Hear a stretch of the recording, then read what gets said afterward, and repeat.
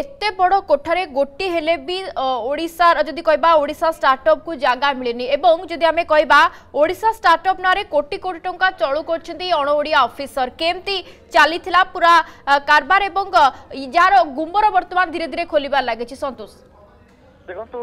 ଭାରତ ସରକାରଙ୍କର ଏକ ପିଏସୟୁରେ ଚାକିରି କରି ଅବସର ନେଇଥିବା ଓମକାର ରାୟଙ୍କୁ ଠିକା ସଚିବ ଭାବରେ ରାଜ୍ୟ ସରକାର ଓ ହୋବରେ ନିଯୁକ୍ତି ଦେଲେ ଏବଂ ଆଶା ଥିଲା ଯେ ଓଡିଶା ଷ୍ଟାର୍ଟଅପ ମାନଙ୍କ ପାଇଁ ବିଦେଶ ଏବଂ ରାଜ୍ୟ ବାହାରକୁ ଯାଇ ବିଭିନ୍ନ ପ୍ରକାର ବ୍ୟବସ୍ଥା କରିବେ ବିଭିନ୍ନ ପ୍ରକାର ଷ୍ଟ୍ରାଟାଜି ବନେଇବେ କିନ୍ତୁ ଦୁଃଖର କଥା ଓମକାର ରାୟଙ୍କର ଯୋଉ ଚାଲି ଚଳଣି ହାବ ଭାବ ଅଛି ସେଥିରୁ କୌଣସି ପ୍ରକାର ପରିଲିଖିତ ହଉନି ଯେ ଇଏ ପ୍ରକୃତରେ ଯୁବ ଉଦ୍ୟୋଗୀ ମାନଙ୍କ ପାଇଁ କୌଣସି କାମ କରୁଛନ୍ତି ବୋଲି ଏବଂ ଦେଖାଯାଉଥିଲା ଯେ ଆପଣ ଜାଣିଛନ୍ତି ଯେ ଓଡିଶା ଷ୍ଟାର୍ଟଅପ ମାନଙ୍କୁ ଗ୍ରାଣ୍ଟ ଦେବା ପାଇଁ ସରକାର କୋଟି କୋଟି ଟଙ୍କା ଖର୍ଚ୍ଚ କରୁଛନ୍ତି ଯୋଉଥିରେ ଦେଖିବାକୁ ମିଳୁଛି ଯେ ନିଜ ହିସାବରେ ନିଜ ଇଚ୍ଛାରେ ଅନେକ ଲୋକଙ୍କୁ ଗ୍ରାଣ୍ଟ ଦିଆଯାଇଛି ଏବଂ ଏ ଗ୍ରାଣ୍ଟ ଦେବା ପଛରେ ଗୋଟିଏ ବଡ ଧରଣର କିକ୍ବ୍ୟାକ୍ ରହୁଛି ଏବଂ ଏ କିକ୍ବ୍ୟାକ୍ ଅଫରକୁ ସମସ୍ତେ ମିଳିମିଶି ଅଧିକାରୀମାନେ ଖାଇଛନ୍ତି ଏବଂ ବଡ କଥା ହେଉଛି ଯେ ଯୋଉଠି ୟୁଆଇ ଏକ ଯୋଉଠି ଏମଏନସି କମ୍ପାନୀ ଅଛି ମଲ୍ଟିନ୍ୟାସନାଲ କମ୍ପାନୀ ଅଛି ସେ କମ୍ପାନୀକୁ ଷ୍ଟ୍ରାଟେଜି ବନେଇବା ପାଇଁ ଓଡିଶା ଷ୍ଟାର୍ଟଅପ ମାନଙ୍କୁ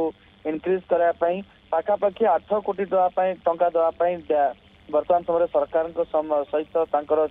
চুক্তি হয়েছে কিন্তু এযাবৎ ছ কোটিরু অধিক টঙ্কা দিয়া যাই সারা কিন্তু ওড়িশা স্টার্টঅপ মানুষ এ বাবদরে কোন বেনিফিটস মিলছে একথা কে বি জানি না কিন্তু সন্তোষ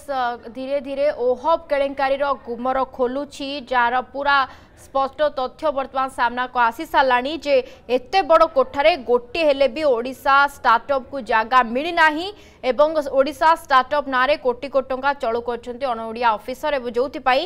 ବିବାଦରେ ଓହବ୍ ଏକ୍ଜିକ୍ୟୁଟିଭ୍ ଚେୟାରମ୍ୟାନ୍ ଓମକାର ରାୟଙ୍କ ଭୂମିକା ଧନ୍ୟବାଦ ସନ୍ତୋଷ ଜେନା ଆମ ସିନିୟର ସ୍ପେଶାଲ କରସ୍ପଣ୍ଡେଣ୍ଟ ଆମ ସହିତ ଫୋନ୍ ଲାଇନ୍ ଯୋଗେ ଯୋଡ଼ି ହେଇଥିଲେ ଅଧିକ ସୂଚନା ଦେଉଥିଲେ